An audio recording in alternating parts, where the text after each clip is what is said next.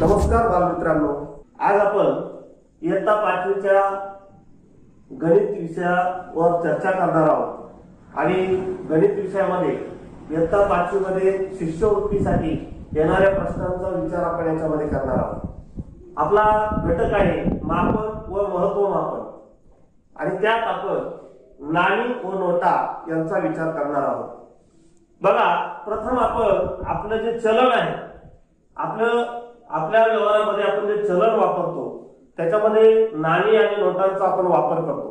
आपण दुकानामध्ये इतरत्र व्यवहार करताना या सुट्या पैशांचा म्हणजे नाणींचा आपण त्याला नाणी म्हणतो आणि नोटांचा वापर करत असतो. प्रथम आपण त्याचा परिचय करून घेऊया. हे एक रुपयाचं नाणं आहे हे दोन रुपयाचं नाणं आहे हे पाच रुपयाचं नाणं आहे हे दहा रुपयाचं नाणं आहे. हे शंभर रुपयाचं नाणं आहे पण ते आता आपण अजून वापरात एवढे नाही आपल्या. त्याच्यानंतर हे पाच रुपयाची नोट दहा रुपयाची नोट वीस रुपयाची नोट पन्नास रुपयाची नोट शंभर रुपयाची नोट दोन हजार रुपयाची नोट पाचशे रुपयाची नोट दोन हजार रुपयाची नोट. सॉरी इथं दोनशे रुपयाची नोट होती. आणि आता बघा या नोटांचा परिचय आपल्याला आहेच. परंतु आता व्यवहारामध्ये आपण या नाणी आणि नोटांचा विचार करत असतो. आणि व्यवहारामध्ये आपण या नाणी नोटा कशा वापरतो ते आपण आपल्याला आपल्या उदाहरणामध्ये आपण पाहत असतो. पण आपल्याला शिष्यवृत्तीमध्ये या नाणी आणि नोटावर काही उदाहरणं विचारली जातात. अशा काही उदाहरणांपैकी आपण एका उदाहरणाचा इथे विचार करूया.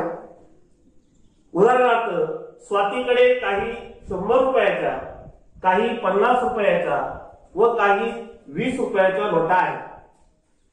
सर्व नोटांची एकूण किंमत पाचशे रुपये असून तिच्याकडे नोटांची संख्या बारा असल्यास प्रत्येक प्रकारच्या किती नोटा घ्याव्या लागतील?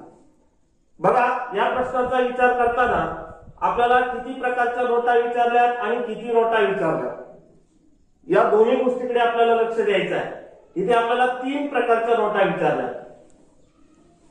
पहिली नोट शंभर रुपयाची दुसरी पन्नास रुपयाची आणि तिसरी वीस रुपयाची. अशा या तीन प्रकारच्या नोटा आणि या तीन प्रकारच्या नोटा वापरून आपल्याला पाचशे रुपये घ्यायचे आहेत. आणि त्याच्या तीन प्रकारच्या नोटा घेताना सर्व नोटांची बेरीज ही बारा आली पाहिजे.